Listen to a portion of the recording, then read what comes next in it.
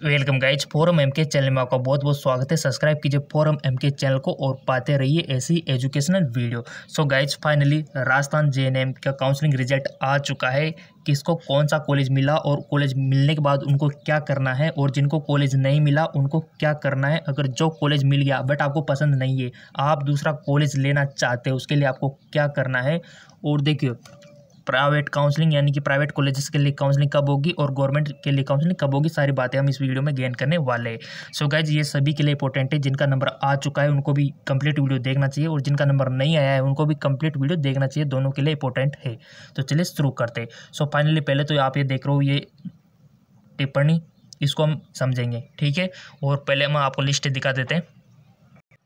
So finally यहाँ पर official website पर आप सब कुछ देख सकते हो कि अलॉटमेंट लिस्ट आ चुकी है यहाँ पर मेल और फीमेल की। इन सभी की बातें हम यहाँ पर करेंगे और फाइनली जो नोटिस है वो भी हम यहाँ पर देखेंगे। अभी हम आपको दिखा देते हैं। ये देखिए, यहाँ पर आप देख पा रहे होंगे मेल और फीमेल दोनों की लिस्टें आ चुकी है और आप अपना अलॉटमेंट लेटर यहाँ से डाउनलोड कर सकते हो। आपको जो कॉलेज मिला है कॉलेज मिलने के बाद आपको कौन कौन से डॉक्यूमेंट्स लेके आपको जो कॉलेज अलॉट हुआ है उसमें जाना है। कब जाना है, कितनी बजे जाना है, कितनी तारीख से पहले पहले जाना है और कौन कौन से डॉक्यूमेंट्स आपको लेके जाने हैं कौन कौन सी तैयारी आपको करके जानी है, सारा हम यहाँ पर देखेंगे, ठीक है? तो चलिए वीडियो शुरू करते हैं, ये सारी इन्फॉर्मेशन हम यहाँ से गेन करने वाले हैं और जिनका नंबर नहीं आया है, उनको क्या करना है, उनकी भी बात हम यहाँ पर करेंगे तो चलिए। सो गाइज़ पहले टिप्पणी, इसको हम यहाँ पर देख लेते हैं और जनरल नर्सिंग यानी कि JNM ट्रेनिंग सत्र ट्वेंटी ट्वेंटी में राज्य के जो परीक्षण केंद्रों पर प्रवेश हेतु प्रथम ऑनलाइन काउंसलिंग सूची अपलोड हो चुकी है। गाइज़ सेकंड काउंसलिंग होगी या नहीं होगी गवर्नमेंट कॉलेज जिनको नहीं मिला है, उनको मिलेगा नहीं मिलेगा, सब कुछ यहाँ पर हम जानेंगे।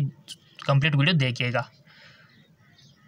तो यहाँ पर इसको लेते हैं नोटिस को पहले कि उपयुक्त विषानुगत लेके कि जनरल नर्सिंग परीक्षण सत्र ट्वेंटी ट्वेंटी की दिनांक बीस नवंबर ट्वेंटी ट्वेंटी को आयोजित ऑनलाइन काउंसलिंग प्रक्रिया राज्य सरकार से प्राप्त निर्देश अनुसार संपादित की जा चुकी है। जिसमें राज्य सरकार मेरिट के आधार पर, यानी कि राज्य स्तरीय मेरिट के आधार पर पंद्रह राजकीय जनरल नर्सिंग परीक्षण केंद्रों में उनकी निर्धारित सीटों पर आरक्षण की श्रेणीवार राज्य स्तरीय मेरिट व ऑनलाइन प्राप्त विकल्पक पत्रों पर ऑनलाइन काउंसलिंग के वेतनानुसार उपलब्ध रिक्त सीटों पर आवंटित किया जा चुका है। उनको कॉलेज दिया जा चुका है उनके परसेंटेज के हिसाब से। ठीक है? और जो स्टूडेंट को नहीं मिला क्या होने वाला है उनका, सब देखेंगे।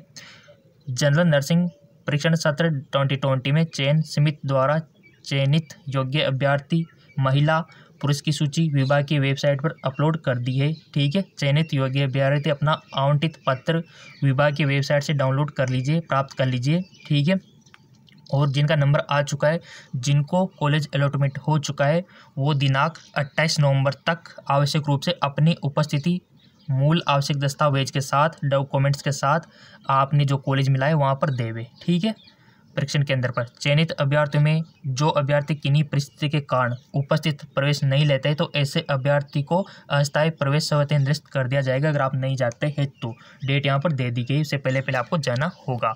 ठीक है कौन कौन से डॉक्यूमेंट्स आपको लेके जाने सारी बात हम यहाँ पर कर लेते हैं। उससे पहले हम यहाँ पर मेल और फीमेल की मेरिट लिस्ट देख लेते हैं। तो चलिए। सो so गाइज़ पहले हम फीमेल की देख लेते हैं, उसके बाद मेल की देखेंगे। तो चलिए, फीमेल में किसने रिकॉर्ड तोड़ा है और किन को कॉलेज मिला है, और यहाँ से चेकआउट कर लेते हैं, इसको डाउनलोड करना पड़ेगा। सो गाइज़ फाइनली ये वो स्टूडेंट है जिनको कॉलेज अलॉट हो चुकी है, ये फ़र्स्ट काउंसलिंग लिस्ट है। सो गाय जिनका नंबर आ चुका है बहुत बहुत धन्यवाद, और जिनका नंबर नहीं आया, उनको घबराना नहीं है, हम आपके साथ हैं, क्योंकि आपने चैनल सब्सक्राइब करके बेल आइकन पर प्रेस कर रखा है। सारी इन्फॉर्मेशन आपको देते रहेंगे, ठीक है?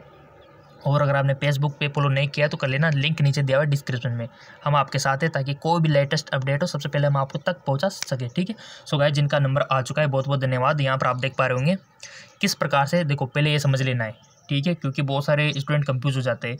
सबसे पहले तो आपको अपनी जे एन देख लेनी है। उसके बाद अभ्यर्थी, यानी कि आपका खुद का नाम और आपके पिताजी का नाम आपको मैच करवा लेना है। बहुत सी कंडीशन में क्या होता है कैंडिडेट का नाम भी सेम हो जाता है और पिता का नाम भी सेम हो जाता है। तो ऐसी कंडीशन में आपको अपनी डेट ऑफ़ बर्थ देख लेनी है, ठीक है? तभी जाके आप कंफर्म कर सकोगे।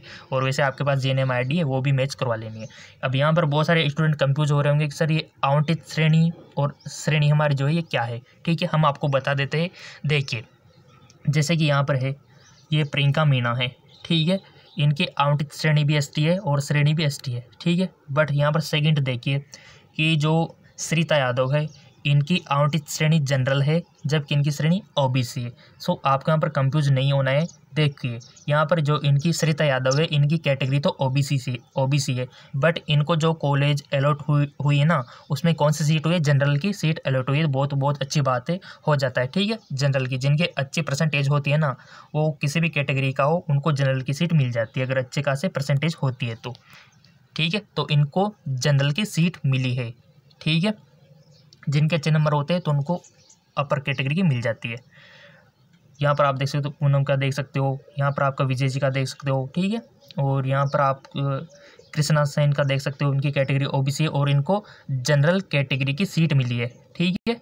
जबकि इनकी कैटेगरी ओबीसी है, ठीक है? तो यहाँ पर कंफ्यूज नहीं होना है, ये जो कैटेगरी दी हुई है, ये आपको कौन सी कैटेगरी सीट मिले, ये यहाँ पर दिया हुआ है, ठीक है? समझ में आ गया? और इसके बाद आपकी परसेंटेज दी हुई है, और इसके बाद अपनी डेट ऑफ़ बर्थ यहाँ से देख लेना है। और फिर भी कोई भी डाउट लगे, कोई भी समस्या लगे तो फेसबुक पे सीधा आप मैसेज कर देना। फेसबुक का लिंक नीचे दिया हुआ है और इंस्टाग्राम पे फॉलो अवश्य कर लेना। और रही बात ये लिस्ट देख लीजिए। ये डिस्ट्रिक्ट वाइज है, अजमेर की है। और कितने स्टूडेंट है? फोर्टी एट स्टूडेंट इसमें है, ठीक है? इसी प्रकार से आपको, अगर आपके पास कंप्यूटर या फिर लैपटॉप है तो वहाँ पर सीधा आप अपना नाम सर्च कर सकते हो। सीधा आपको मिल जाएगा। कंट्रोल ऐप दबा के, ठीक है? और ये जयपुर की है। सभी डिस्ट्रिक्ट आपको यहाँ पर मिल जाएगी। जितने भी आपके राजस्थान में ज़िले हैं आपके अपने कोटा के देख लीजिए। और कोटा वालों को तो कोटा में तो हम खुद रहते हैं। आपके बहुत अच्छा वातावरण है। और पास में ही इसमें क्या है? कोटा में तो हॉस्पिटल भी पास में है। बी नर्सिंग का भी कॉलेज पास में ही है। और एनएम का भी पास में ही है। सारे पास में ही है। ठीक है? और वीडियो भी दिखा दूँगा मैं यहाँ का। ठीक है? क्योंकि हम यहाँ पर जाते रहते हैं। चलते आगे की और फोर्टी फाइव और एसएमएस का भी दिखा देंगे आपको। बिल्कुल भी नहीं घबराना है। हम आपके साथ हैं। बस आपको तो चैनल सब्सक्राइब करके बेल आइकन पर प्रेस करना है। जिनका नंबर आ गया, उनको तो अपने डॉक्यूमेंट्स जितने भी हैं ना, सारे लेके कॉलेज में चले जाना है। ठीक है? अट्ठाईस नवंबर से पहले पहले। उसके बाद कोई सुनवाई नहीं होगी। उसका बरी जिनका आ गया, और जिनका नहीं आया है, बिल्कुल भी नहीं घबराना है। जिनका नंबर नहीं आया है ना उनकी सेकंड काउंसलिंग होगी अगर सीट खाली रहती है तो। ठीक है? गवर्नमेंट भी होगी प्राइवेट भी होगी। दोनों के लिए भी तो सेकंड काउंसलिंग होगी, बिल्कुल भी आपको नहीं घबराना है, जिनका नंबर नहीं आया है। ठीक है? यहाँ पर आप देख पा रहे ये अलवर का है। कितने कैंडिडेट आप कुछ देख सकते हो? फोर्टी एट और जो यहाँ पर भरतपुरे अगर कोई कैंडिडेट नंबर आने के बावजूद भी कॉलेज नहीं लेता है ना तो वो आपको मिल जाएगी सेकेंड काउंसलिंग में। ठीक है? ये देखिए, ये फीमेल की है, सभी की यहाँ पर दिया हुआ है, अंकिता कुमार। काफ़ी सारी अच्छी परसेंटेज है, इनको बहुत बहुत धन्यवाद। ठीक है? अब हम मेल की भी देख लेते हैं। ठीक है? काफ़ी सारी लंबी लिस्ट है। लिंक दे देंगे डिस्क्रिप्शन में। वहाँ से आप इसको ले लीजिएगा। मेल की भी देख लेते चलिए। सो यहाँ पे ये मेल की भी है। इसको भी ले लेते अपन। और गैज ये देखिए आपके मेल की काउंसलिंग लिस्ट जिसका नंबर आ चुका है, जिसको कॉलेज अलॉट हो चुका है, कौन सा कॉलेज हुआ है, सब कुछ यहाँ पर दिया हुआ है। ठीक है। जैसे कि यहाँ पर जे एन एम आई देख लीजिए। अभ्यर्थी का नाम और अपने फादर्स का नेम और अपनी डेट ऑफ़ बर्थ अवश्य मैच करवा लें, जो कि आपके टेंथ की मार्कशीट में है। और यहाँ पर आप देख सकते हो कि यहाँ पर जो सगन पारी के इनके श्रेणी ई डब्ल्यू में आते हैं बट इनको कौन सा ये मिली इनको? कौन सी सीट आवंटित हुई है? जनरल की सीट मिली इनको। बहुत बहुत धन्यवाद। क्यों मिली है? क्योंकि इनके परसेंटेज अच्छा था, इसलिए इनको जनरल की मिली है। ठीक है? और यहाँ पर बहुत सारी नॉलेज अभी यहाँ पर लेने वाले हम। ठीक है, ये समझ में आ गया होगा आपके, अपने परसेंटेज और अच्छी खासी परसेंटेज इनके जिनके अच्छी खासी परसेंटेज है, उनको मिल जाती है कोई सी भी कैटेगरी की सीट ठीक है? क्योंकि उनको तो देना ही देना है, बस प्रायोरिटी उनकी है यहाँ पर आप देख सकते हो, कोटा की देख सकते हो मेल की फीमेल की, ठीक है? और किस, कितने सीटें मिली, देखो, यहाँ पर फीमेल को ज़्यादा मिले क्योंकि उसको प्रायोरिटी दी जाती है और मेल को कम दी जाती है, ठीक है? इसलिए यहाँ पर उनको कम बारह बारह देख पा रहे होंगे आप यहाँ पे। बीलवाड़ा में देख लो, आपके जितने भी पालिका देख लो, जहाँ पर भी गवर्नमेंट एस कॉलेजेस है, सबका यहाँ पर लिस्ट आ चुकी है, यहाँ पर आपको अपना नाम ढूंढ लेना है। और कोई भी समस्या आ रही हो ढूँढने में, समझने में तो सीधा फेसबुक इंस्टाग्राम पे मिल जाओ। हमारे फेसबुक इंस्टाग्राम का लिंक नीचे दिया हुआ है डिस्क्रिप्शन में। अब रही बात जिनका नंबर नहीं आया है, उनको क्या करना है? देखो, जिनका नंबर आया है, उनको तो अपने डॉक्यूमेंट्स ले जाके कौन कौन से डॉक्यूमेंट्स जितने भी डॉक्यूमेंट्स है, दसवीं, बारहवीं मार्कशीट अपना अलॉटमेंट लेटर और अपने मूल निवास कार्ड सर्टिफिकेट हो गया अपना, सब कुछ आपको, पहले तो जिनका नंबर आ गया, उनको क्या करना है? देखो, नंबर आ गया तो आपको क्या करना है? ये जो लास्ट में दिया हुआ है ना, ये, इससे आपको अपना आवंटित पत्र डाउनलोड कर लेना है, ठीक है? यहाँ पर क्लिक करोगे तो कुछ इस प्रकार का ओपन हो जाएगा, यहाँ पर आपको अपना आईडी डाल लेना है जे एन एम ठीक है? उसके बाद आपको अपना मोबाइल नंबर जो फॉर्म भरा था, उस टाइम पे आपने जो डाला था, वही मोबाइल नंबर यहाँ पर आपको डाल देना है। उसके बाद आपको अपनी डेट ऑफ़ बर्थ लिख देनी है, उसके बाद आपको अपना अलॉटमेंट लेटर मिल जाएगा, जो आपको कॉलेज में लेके जाना है, जो भी आपको कॉलेज मिली है, ठीक है? और बहुत सारे स्टूडेंट क्या करते हैं, सर, हमको दूसरा कॉलेज चाहिए। सो गाइज़ वो तो आपका एडमिशन होने के बाद ही ट्रांसफ़र अगर सीट वेकेंट होगी ना, तभी पॉसिबल है, ठीक है? उसी प्रकार होता है। अगर आप सेकंड काउंसलिंग में, देखो सेकंड काउंसलिंग में तो आपको जिनका नंबर नहीं आया, वो वाली मिल जाएगी। बट वो ट्रांसफ़र का प्रोसेस होता है, वो अलग बात है।